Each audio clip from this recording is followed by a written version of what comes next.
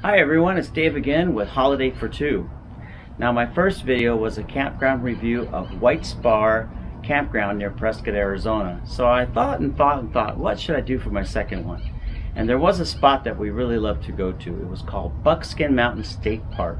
It's near the Colorado River between Parker and Lake Havasu. And I think you're going to really like this one. If you like to fish or you like to have a boat that you want to put in the water or you just want to sightsee, it'll be a great spot for you. So let's take a look at Buckskin Mountain State Park. Here we go. I'm hoping I can take a holiday and spend some time with you.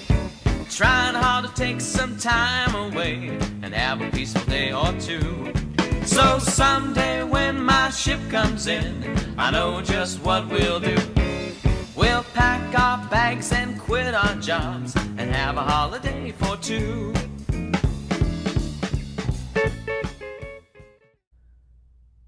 Buckskin Mountain State Park, 11 miles north of Parker, Arizona. I really like this campground. We went there last March and the weather was perfect. Now, according to the website, there are 80 campsites available, a mixture of RV and tent sites. All sites have 30 amp hookup, and there are 15 sites that also have sewer available for an extra fee. Now, according to the website, there is no limit to the maximum RV length. That's kind of cool. If you have a big rig, you can get them in here easy. There is also a boat ramp, and if you have a boat, you can launch your boat right there. Just start in Parker, Arizona. Follow Highway 95 north, about 11 miles north of Parker, and then you're going to make a left and head down to Buckskin Mountain State Park. This is a common area where people can come picnic for the day or if you're camping there, you can also use that. In the summertime, this is a very popular place for people to come and swim in the Colorado River. But just be warned, it does get hot in the summertime. Highs can run anywhere from 110 to 115 in June and July, so it's a little bit hot. But the water would be great, wouldn't it? Mm-mm-mm. And if you have a boat, boating is great. You can travel up and down the river for miles all the way down to Parker or go north to the dam. Just beautiful. When we went there, we found a couple of really neat hiking trails. These are some of the hookups that are available. There's also Wi Fi available, really good Wi Fi, very fast. I was really impressed. And we had a storm one day and it left us a nice rainbow to kind of give us some hope for the day. If you like to hike and you enjoy hiking trails, there's a trail near the Buckskin Mountain State Park that you can take. It goes up in the hills. Make sure you wear shoes that are comfortable and to also watch out for rattlesnakes. Depending on the time of year, there could always be rattlesnakes.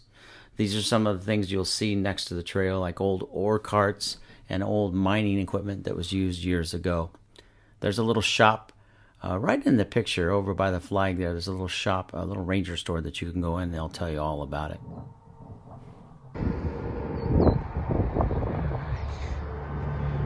Going up the lightning trail. You see all the way back down the river there to our campsite.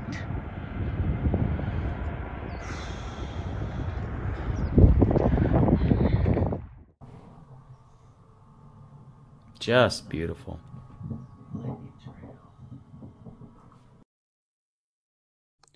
Our next day trip was to the Nellie Saloon, or the Nellie E Saloon, otherwise known as the Desert Bar.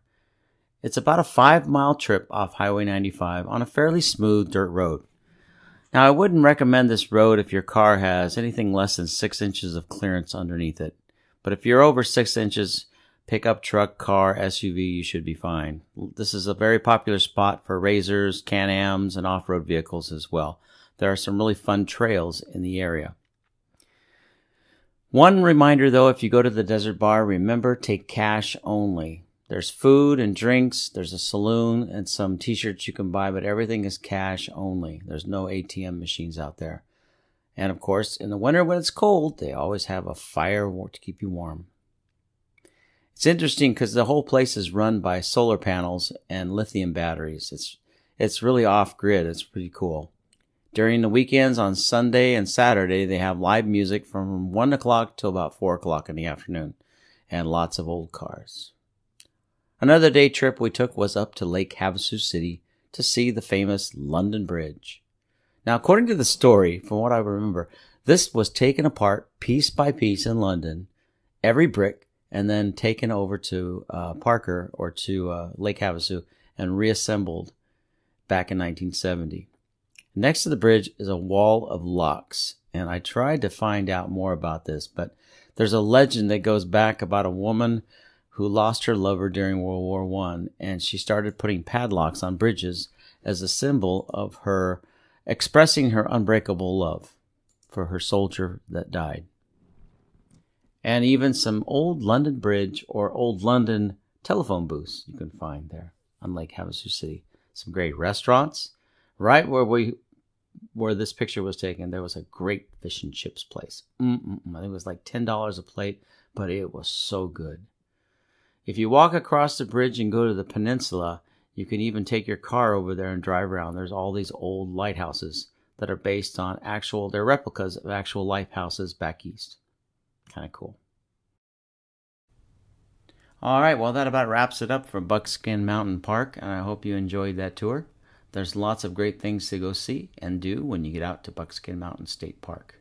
Just remember, watch out for those snakes when you're hiking. Have a great time. Catch you later.